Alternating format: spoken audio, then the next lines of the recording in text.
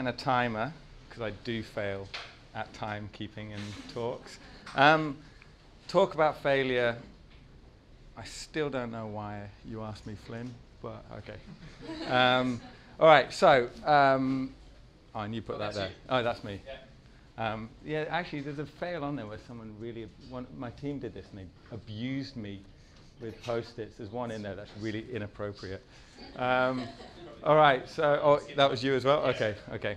All right, so um, when I put this together, I was thinking uh, work life failures, because as a designer, our kind of lives merge and they're pretty much kind of entwined so that the failures happen at home and at work, and more often than not, it's just kind of this massive combination. Um, thought I'd kick it off with just kind of set the mood.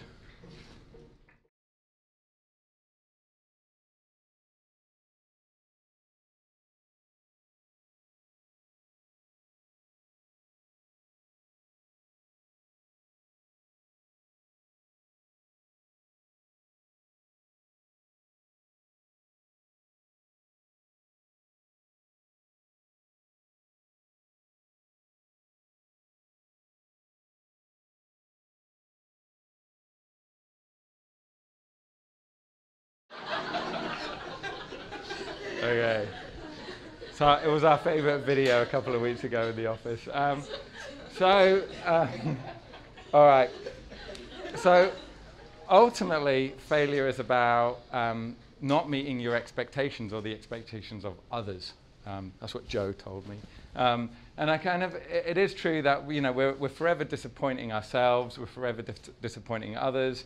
Um, so I guess my first point, uh, I've kind of done it into work and life, um, and I've kind of got about 20 odd points. Um, failure as a living, I think that's the career that we're in, especially me as a creative.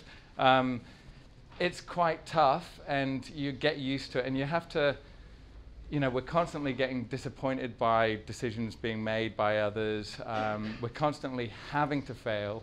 Um, I guess my job as a creative director is I have to encourage failure from everyone I work with so that they get to a better result, but equally I have to mitigate failure for our clients. So it's a really weird balance where you're constantly kind of trying to succeed but fail at the same time. Um, and I, I, put this slide together a while back for Vivid Pecha which I still think is kind of right. Um, so if we turn up to work, right, we've got, we, we have all these brilliant ideas. And then in the studio, especially in my studio, 90% of those get killed quite quickly because we, you know, you, obviously we all do stuff and then you go, that's rubbish, that's not so good, uh, I didn't quite crack it. And then as, as a collective group, we decide, let's get rid of all the weak stuff. So you get rid of 90%. You hopefully end up with two to three routes that you're kind of really happy with and you're going, ooh, which one is the one that we want to present?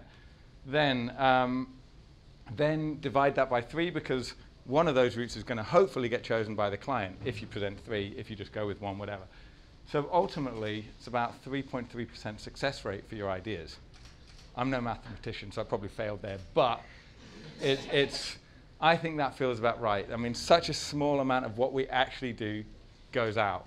Um, I struggle a lot in life, I'll, I'll be honest. Um, I struggle to be a good person. I know that sounds kind of weird, but I'm forever disappointing myself. I'm forever saying the wrong things. I'm forever like, I, I, I, say stupid stuff to people, and I just kind of of, often wish I didn't say it, and then I spend weeks afterwards going, oh, why did I say that? Why was I such an idiot? Why was I so rude? Why did I have that opinion? And it, it's, it's a really frustrating place to be that you, but equally it's good because, you know, if I'm aware of all those failures, then hopefully I can be a better person. And I think that's what failure does. Every time you fail, if you take it as a lesson, you'll hopefully be better at whatever you do. And definitely for me, striving to be a better person is, is definitely a goal that I haven't achieved yet. Um, and I guess was, I read a book a long time ago, East of Eden by Steinbeck, and there was a, a scene in it, um, scene, it was a book, but um, where there's this great guy, and he had a family of like 10 kids, and he was, you know, like the Waltons, and everyone loved him, and he was, he was super nice, and he had crap land, and, um, but he just helped everyone. And then there was these, like, this real bastard. And the author, I, I, think this is what happens. It's almost like Steinbeck speaks to you as the reader and goes, Who would you rather be? Would you rather be this person who um, is rude to people, is mean, is out for their own gains, is, is just not a nice person? And then if they die, people are like, Phew, thank God they're gone. Or would they rather be that? Would you rather be that oh, that person who just gave to other people and really tried to make other people's lives better, even at the expense of their own? And I remember thinking, man, I so want to be that person, not that person. But yet I constantly do mistakes and end up on the other side. So I'm, constant, I'm aware, I'm trying to be better. Um, failure to be brave, I guess uh, this courage, courage to fail, that's, that's part of our job. Um, I'm fortunate, this is my life one, because um, I surf. Thank God, it gives me a purpose in life. Um, it's, it's something that constantly drives me to find something every day and get up in the mornings. Um, but it's, it's scary. You know, I love that this is me. I'm not showing any really good picture, um, but taken off there, but that happens all the time. Um, I mean, it really does, and it, and it usually feels like this.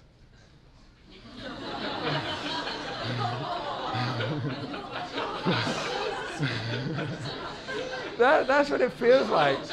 Um, Oh, I'm to I'll go back. Um, that's what it feels like, and it's, and it's quite tough. Um, but you get up and you do it again, and then you make it. And um, again, it brings me like failures. They hang in my mind like all the time. So I was in France uh, for a few years. Um, me and Brad, Brad went surfing, and um, went down in Biarritz, and there was like loads of people. It's kind of like Bondi, but you know, and paddling, they were waiting for ages. This perfect wave came along. It was like that last wave. And I thought, right, I'm going for this. And as I was paddling, it kind of reared up, and I went, whoa, I'm not going for that. And then I spent 40 minutes afterwards struggling to get a wave in amongst all these people. And I was like, oh, if I'd just gone for that wave, I would have been happy.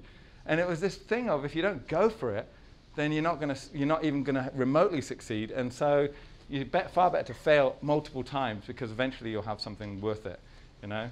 I still remember missing that wave. Um, oh, um, and then, um, uh, and then uh, you know, I grew up in Scotland, so we used to surf in Scotland. Um, this is my brother and me um, in our six mil wetsuits. Um, but you know, you, have got to be a bit brave to kind of go out when it's snowing, or stupid, one or the other, you know. But, but that's it. Like, if there's, if there's an opportunity, no matter how remote or weird or kind of how cold it is, take it because you never know what the payoff is going to be, and it's probably going to be better than you expect. Um, so, when I was a young designer,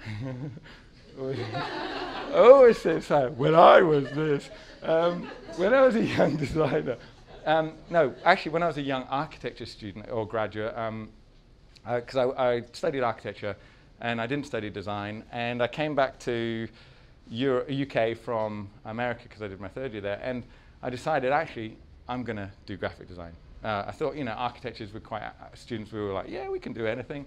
Um, I got quite into the kind of gratification of presentations and, um, and ideas rather than the long drawn out architecture projects and kind of doing door jambs and window kind of things and roof stuff. So, so I tried to get a job and everyone, just an internship and everyone said no, no, no, no, no, no, through Edinburgh. And um, I went to one, I had two interviews left, and I went and saw one at this company called Tayburn, and they were, you know, they were really good. And I went and saw the creative director, and, he, and basically he was, he was angry when I saw him. He was like, why are you wasting my time? You've got no place in design. What are you doing? I had to go at the receptionist and then went, do you know what? Here's what you need to do. You need to go back and study design for four years. Then you need to get a couple of internships. Then you can go work for a few years, and then you can come and see me. And then I was like, so, so I realized, so I thought, okay, this is, I'm going to be an architecture student. Yay. Um, so I thought, okay, I've got one more interview tomorrow. So I called up that morning. I said, hey, I don't think I should come to the interview this morning. Um, I'm going to waste your time. And the creative director said, don't be stupid. I've already got it booked out for you. Come along. I was like, no, really? And he's like, come along. So I went along, walked in the door, and he said, okay, just to be clear, we don't have any space for interns. Okay, but I'll take a look at your, your work. At the end of the meeting, he's like, okay, so internship. Uh, this is when, when do you want to start in two weeks? Here's a number, call this. Here's a list of people I want you to call. Two days later, I called that number. Another creative director picked up and said, hey, Jason, been waiting for your call. When do you want to start? I'm sorry, what? And then I went there for a week's internship, and then at the end of the week, called down to the, or two weeks internship, after, at the end of the first week, called down to the MD's office with the two creative directors, and they went, okay, don't know what you're doing this week, but everyone has come to us in this, in this week and said we need to hire you. So we're going to give you, if you want, we don't want you to go back to architecture, we want to give you an apprenticeship, good old fashioned apprenticeship. Now, the, the setting was that my creative director, that creative director, his brother was the uh, creative director of Wolff Olins and did the 2012 Olympics and all that. So this, but before he did that, he didn't study design either. So he was going, okay, my brother-in-law studied is like top, top, top uh, creative director. He didn't study. I think you can do that. So they gave me an opportunity. And um, I guess, so all those failures, you know, it, it, was so close to not doing it. And then at that last minute, it succeeded. And so I guess, um, you know, accept the failures because something's going to come out of it at some point. Um, failure to create the right conditions. I guess um, a work thing. My job is to create the best conditions in which people can fail and succeed. And so it means creating great environments, it means being a nice person, it means, it means encouragement, it means really kind of helping people be the best they can. Um, and so many people get it wrong. And it's, and, it's, and it's a real worry. But you know, this is definitely something that I put a focus on in my kind of day to day is just how to make sure people can achieve more than they ever thought. Um, which brings me to this point because do you know what? Having a dog in the office, that makes everything better. And having a dog at home, I'm, I'm desperate to have a dog. See, I reckon, I reckon this is the secret to happiness. I've worked in a couple of studios with dogs, and oh, what was the word? Great. What was the word you used? Phasing or something, Sam. Oh, anyway, pat, great patching. Anyway, um, so getting a dog. Okay, failure to sugarcoat. Um, I think my team knows me for, for being quite blunt, and um, usually what it is is, um, well, here's a bunch of things. Kind of, I was asking the team what I say. Um, I think uh, these are probably a bit nice. I used to say that shit a lot, um, but it, but ultimately it's it's it's not for my gain. It's for their gain because I don't want them to waste their time doing shit ideas. And equally, the way I speak to my team is I kind of expect them to agree with me. You know, it's like in, in a way of, well, you all know that's kind of rubbish, right? Right? it's not like I'm trying to be rude. It's just I think we all get it, surely. And and a lot of the time, what what what what happens, I think, is we all get as designers, we get caught up in our own work. We're like, well, I've done it. I spent all this time, so it must be good. And we, we forget, we lose the filter that says, I've just wasted my time. That wasn't good. So it's all about helping people get to the right place quicker rather than watching them waste all this time, blow the budget, end up with a crap result, and then we all go, yay, that was worth it. Um, so sometimes I get it a bit wrong, and I'm a bit rude or a bit blunt, but then my heart's in the right place. Um, right, guys? Okay. uh, some of my team are here. Um, okay, failure to settle. Um, very quick. City of Melbourne, that was approved. Um, client finally went for it. We were like, yes, success. Um, and then the client said to us, okay, are you sure it's original? Are you sure that no one else, when we launch this, are you sure that no one's going to have that M? So um, budget was already spent. You know, everyone's like, everyone in our business at Landor is like, it's, uh, it's done, budget's gone, get onto the guidelines, whatever. But I went, okay, let's just have another week or two. Junior and a senior designer, Sam, who originally kind of designed that, that logo, let's have those two um, and me just explore, make sure every M is gone, and let's do this. Um, and then that led to that. But we hadn't shown the client yet, right? So that was a really daring leap. And then, but we, we, when we presented it and went, oh, you know that logo that you signed off? it's actually, this is the identity now, and this is how it works, and da da da, and we sold it with a movie and all that. And then they went, oh, okay, great. Are you sure? I mean, it's pretty scary for them. But the, the biggest thing, I, guess, about it, that pushing it, we wouldn't have got there if we hadn't had that extra time or we hadn't gone, it's good but not great. But then one of my biggest failings in my career, I guess, is I, I fail to ask people for their opinion, or not their opinion, their approval. So, um, as in, if you're going to submit to a creative awards, if you ask the client to sign off on those awards, they tend to tell can't put that image, change that writing, it needs to be more business focused or whatever. And before you know it, you've got a really bland entry that doesn't win, and then no surprises. Clients like, oh. Whereas if you if you win, you just tell the client, hey, you won, and they're, they're happy. Um, so, you know, I don't I don't check.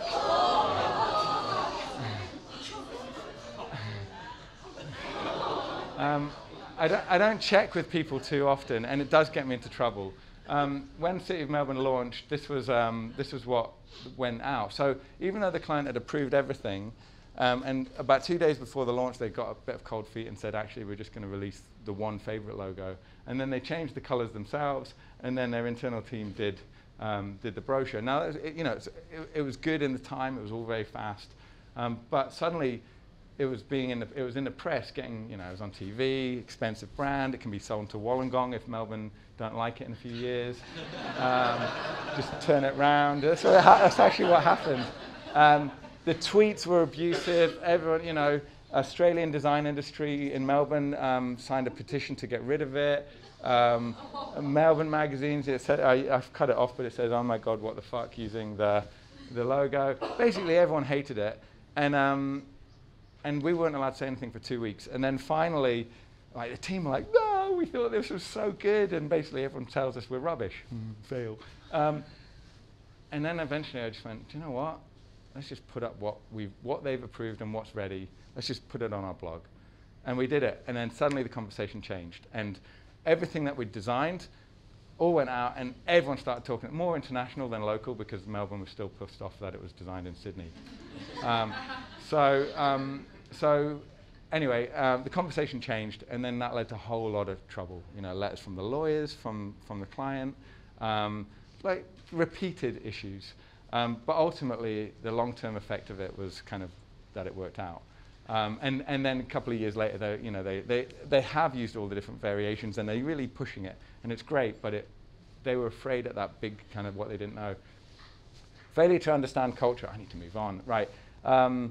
What am I going to talk about? Oh, yeah. So, worked in Paris, okay? Um, brilliant experience, the, the beautiful life. What I didn't realize when I moved to Paris was um, a word of advice from an American uh, strategist that I worked with who said, You don't move to Paris for a career, you move there for, a li- for life, as in for a good life. And here was me, straight off the back of Melbourne, like ambitious. I'd been working with some really amazing creatives. And I got there, and I was, I was hungry, hungry to kind of make a difference and kind of, I, I kind of in, spoke to all the team. It was like an 80 person office. And a lot of the designers didn't really believe in design. They kind of felt like their job was just churning out rab- rubbish packaging. Their client service had a big role, so like they were being briefed directly by client service. So the, the design directors didn't really have too much control of the creative output. It was very much a client service led approach. There were a couple of really great people and gems. And I mean, the, the culture was awesome and people were brilliant. But it, I, I wanted to try I was too keen to kind of put my stamp of authority in how to do things versus understand the culture and how they did things. Um, and, um, you know, like Paris is very different. Um, I mean, there's, there's so much that I, I got to love by the end. The Vélib, the bikes, you know, hated the French breakfast. So glad to come back to Australian breakfast. Um, the, the, the espresso, you know, them, those many years without uh, milk in your coffee was great. Um, but and it, like Paris is amazing, and I definitely romanticize it more now. However, the team were brilliant. We had a five-story building. It was great. But the problem was, in those first few weeks, in the first few crits I was in, I basically destroyed people's confidence. I was like, this isn't good. That looks like this. What are you doing? And I was just, I got it so wrong back to that earlier point of being a dick. Um, I got it so wrong, and I spent the next two years trying to recover from that by trying to build confidence with people and trying to to help them rather than criticize. And it was, it was such, a, such a critical thing that I just misjudged that I just assumed that everyone was as, um, uh, had the same kind of ambitions or in, intentions with the work. And it, and it wasn't true. And actually, it did take two years. And, and you know, again, like Joe over there, she, she worked there. And, um, and there were some brilliant people, don't get me wrong, some really, really great people. And, I, and I love most, most of the team there. Like, I, still want to see them whenever I go over, and they're great. But it was just that misunderstanding of how I should have tackled it because it could have been a, so much a more a kind of dramatic change if I'd just done it correctly rather than kind of mess up at the beginning and then try and get it right. Um, I blame this on France, though, failure to be on time, because they go to bed incredibly late and then they get to work uh, late and then, you know, it's like 10, 9.30, then there's coffees and then there's uh, like cigarettes and everything's late and two-hour lunch breaks. And, uh, I always had a problem with that. I was like, we start at nine. Um, again, kind of misgu- misjudging the culture. And um, yeah, anyway, so I'm always late and it disappoints the hell out of me. I can't imagine what it does to others. But, it dis- but I always feel like I'm letting people down because I am. Um, oh yeah, failure to, be the to meet the sheikh. So I've got a project here I thought was quite good. So we were, at the beginning of this year, we were working on a Dubai identity, which was an amazing opportunity. Um, and we did this, uh, like one of my favorite pieces of work of all time. And um, it was so good, and Kat was the lead designer on it, um, just there. And it, was so great, and Ryan over there. Um, and was brilliant, and I loved it. I've got a video. It's going to take up a minute, so I can shut up for a second.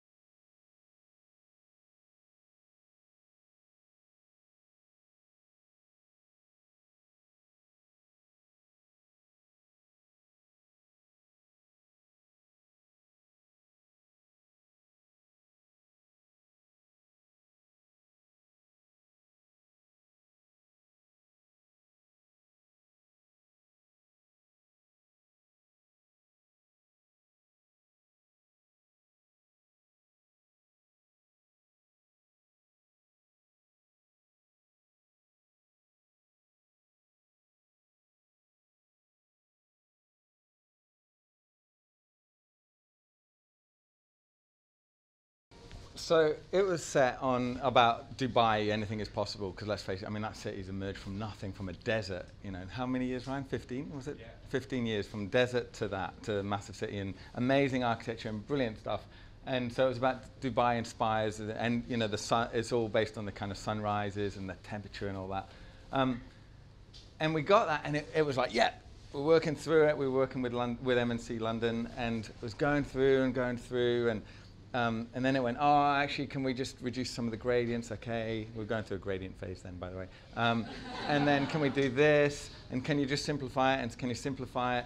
And, and it got round after round after round without dealing with the sheikh, but his marketing team, to the point that when it finally got so boringly generic, that they went, ah, it's no longer as impressive as what you'd originally done, so we're not going to do it.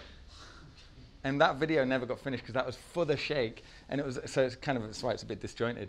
But it, it, the, even the way they do it, right? The whole point was we would produce the video and all the layouts, and it would be laid out in a room, and then the sheikh would go with. You wouldn't even be allowed to go there. He would go with his team, and he'd walk through and go, "Yep, no." So no explanation, no nothing other than from them. So the video had to do all that.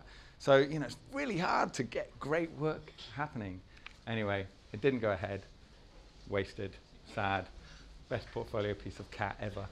Um, so anyway, sadness. Um, all right. Um, failure of judgment. I can't even remember what, what I've got. Oh yeah, this is a great. We've all seen this, I think.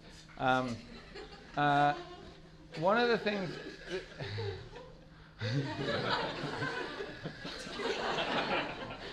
um, so, sorry, I'm going to stop it. Um, so one of the things. Um, oh, look, it's my time. So I said I've got five more minutes, right? Five more minutes. Are you cool with that? Five more minutes, right? I'm going to just set it because go. Okay. So, um, so one of the things I'm really bad at is uh, I'm really good at judging young talent and being able to go, these guys are going to be amazing, and then providing a lot of talent. I think I'm really good at that because the people I've worked with who are 10 times better than me and they go on to do way better things, they all started quite young working with me, so I reckon they were just really good and I was lucky, but I know who I'm able to find them. The other thing I'm not good at is trying to un- um, pick senior people.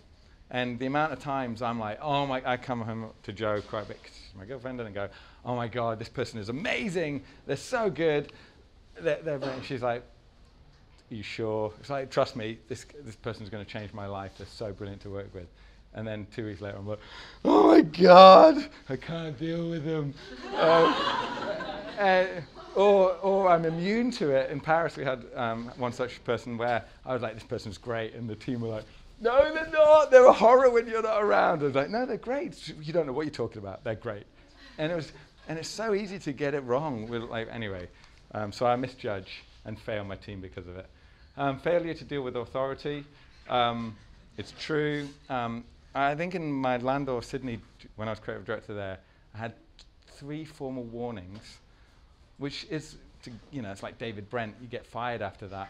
Um, two, two formal warnings got forced, and the third one was put in, but then the person who was done on behalf of kind of said, "What are you talking about? We're friends. Why would I put a formal complaint?" But that whole uh, clearly, I have a problem with authority, and it's also it's because I, I want to I, I want to be free. I want our team to do the best stuff, and I, I don't want to follow the rules of people who have a preconceived notion of what business needs to be and how to do work, and and so I clash because I clash with people who are formulaic or structured or too business oriented and don't understand people and the motivations, and um, and so yeah, it's it's it's almost got me fired, and it's you know a problem. But you know I wouldn't change it because fuck authority. No. Um, none of you guys can think that though, right? um, um, failure to talk money. Oh yeah, look, quick one. Designers, we're terrible. We don't know how to charge for ourselves. Um, the amount of times um, when I was on seven and when I was on seven and a half thousand pounds in the UK as my first job, my friends were on twenty five thousand pounds. That's how bad designers are. In Paris, um, junior designers were on 10k less than junior client managers. Like designers, we often undersell ourselves. We're like the engine of a lot of most com- creative companies. They're called creative companies for a reason. And yet we, we're always afraid of asking for money. We're always like devaluing ourselves. Oh, we do work for free in pitches, hopefully not, but some people do. Um, we, we undersell, we, you know, the logo lounge, not logo lounge, the logo websites for 99 cents or whatever. Atrocious behavior. We just undersell what we do. Um, you know, I'm so bad with money. I did a freelance job about five years ago um, for about 3K, which was quite, I thought was quite good for a small job. Anyway, I was so bad. It, it was a great piece of work. I thought I just didn't know how to invoice. I was so scared about invoicing because I'd always been in full-time jobs. And so, you know, six months went by and I like, oh, I should really invoice. then, then, it, then, then, it, then a year went by and I was like, oh, don't know how to do this.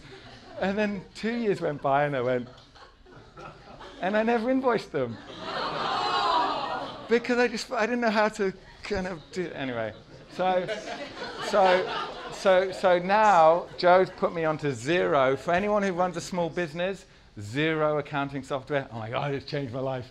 The best thing ever. So get on it. If Xero are watching this one, they should pay me for that. Um, failure at driving. I did fail my driving test um, three, two times. I passed on my third. But you know, I hate driving. I hate under pressure stuff anyway. Um, it was a bit like this. yeah, it sucked. The nerves of passing driving test. Like, ah. Okay. Um, another one, right? I'm going to I'm going to quickly move on. Um, failure to type, right? We would, when we were doing the Optus um, rebrand, we did this. Um, so this is our concept that got approved, Flintstones kind of type. It was it was awesome, um, and couldn't believe that they'd gone with it. And but obviously, you know, it was a good relationship, and they believed in us. And um, Alex over there was key designer on this, and and Brad worked on this, and it was um, it was really great. Um, and then when we went to get the typeface done, we commissioned a, a, a world-renowned uh, typographer, like one of the best in the world. He was brilliant. And uh, we gave him such open brief because, ah, stop, okay, a few minutes, a few minutes more. um, we gave him such an open brief because um, we really believed in him, and, but we, we, were so unclear that he came with something that we weren't sure about. And it's a beautiful typeface, it just wasn't right for what we wanted. Um, and then a second attempt led to this. And again, it's a beautiful piece of type, but it wasn't what we were wanted because we had this kind of idea. And it was, you know, Optus launched, it was meant to be a 12 month project, and it ended up being a three month project, as in, you know what, we're not going to launch in December now, we're going to launch in, in July. Go, go, go, go. So everything was up against it. So we ended up having to switch typography. We had to get paintbrushes out and do it ourselves. And then we, when we worked with this French typographer, Mathieu, who's probably I'm never going to go to any other typographer again in life because this guy is about 28 and he's, he's amazing and he worked his magic in Paris all the time and he did this and he did all these versions and really tried to push it, you know, as Alex kind of marking up. Um, and, um, and we ended up with this and, and he did the other one as well. And it was, it was magical and it was, it's probably my favorite project I've ever worked on ever in my career, like the most enjoyable project with the most, the brilliant client and the most positive vibe in the team. Like it was, ev- everyone contributed. However, I always wish now in hindsight that we'd managed to convince the client to go a little bit further with the type. oh, I'm touching the microphone. But um, uh, it, it, we're super happy with it. I love it, but I just wish we'd managed to go a bit more original in the typeface. Um, anyway, um, but it's cool when it's got multiple glyphs and stuff. It, it's awesome. Um, failure to shut up, quite appropriate, right? Um, I can't remember what I was going to say. On, oh yeah, uh, I was just going to say, I was at, I was judging the best awards recently in New Zealand, and I, I, I was the the, the jury um, chairman said, look, you don't need to be right when you're judging because there's seven other judges. Like, chill out. You know, you, don't need to force your opinion. But as a creative director, you always have an opinion. You have an opinion with clients. You have opinion with your team. Yes, no, yes, no. Hey, you need to do this. Think about it like that. And so you can't help but kind of dominate. And I had to get a nudge, quite embarrassingly, so from the chairman, from the chairman, just going, "Hey, chill out a bit, dude." Um, and I felt so gutted. Again, back to that original thing of being a dick. I, felt, I felt so gutted about uh, by, by getting it wrong. So I spent the whole time trying to recover from it and doing my best. And actually, and then I was going, you know, those pieces that I, I said weren't good enough, can we re-evaluate those tomorrow? Because actually, I think I was wrong and they are good. If I hadn't said anything, they would have got a good gold or something. So let's talk about them. But again, acknowledging your failures and then quickly trying to make up for it. Um, failure to be in charge, it's true. Uh, maybe the boss at work but at home, Joe's the boss of me, and it, and it's not fair. It's not fair. I don't know. I don't know how it happened that I have to cook all the time and that I have to have that expression when I'm. and, and oh, um, I'm not even. I don't think I've got time. Look, uh, we we did Cape Town. We didn't do that, um, but we did this great piece of work. Kat worked on this as well. And it was a beautiful piece of work. Brad went over to Cape Town to work on it. And it was so close. And it was approved. And we were so happy. And then the people who commissioned it were done for corruption. so this probably again the best piece of work we did in 2013 gone and i always fail to call my mum do you know what that sucks because she's in the UK and Scotland, and I always, I'm always too busy. But I guess the new thing is, you know, I'm, I'm never content. I'm never happy to stand still. I always want to I want to change the world. I want to do great things. I want to make the best environment with the best people and do have the freedom to, to create. And so today's actually my last day at RE because I'm setting up a new agency. Um, and it's to avoid any excuses and, and whinging or whatever. I want to I want to see if I can fail. Because if I got hit by a bus tomorrow, would I be content where I am? Or would I like to try and be like Steve Jobs, set up a business, you know, or Dead Poet Society with my team? there, I can't imagine. Uh, you'll, you'll, if you, you'd do my captain, my captain. Uh, um, uh, no, um, look, I, uh, yeah, so I'm going to set up again, and which is a failure to my team right now because the team that I have is the best team I've ever had in my, in my career. I love them, like family. And I'm walking away from them to set up something new. So there's a failure to them, but you know, hopefully it will lead to something that isn't, is a success, and who knows what will happen there. So that's me. Um, thank you, everyone.